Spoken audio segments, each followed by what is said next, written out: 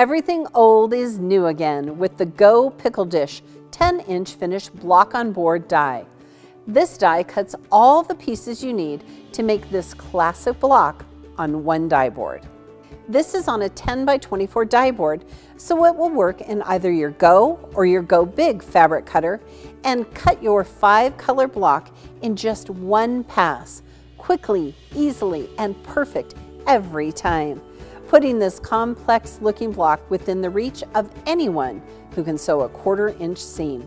Screen printed letters make it easy to keep track of your pieces.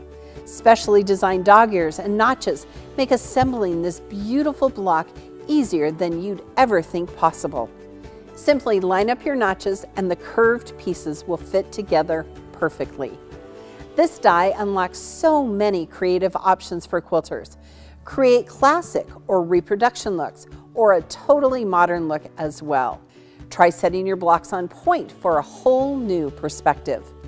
Since this block finishes at 10 inches, it will coordinate with the Go 10 inch setting triangles die, the Go 10 inch finished mix and match Qube, and companions as well as any other block on board that finishes to 10 inches.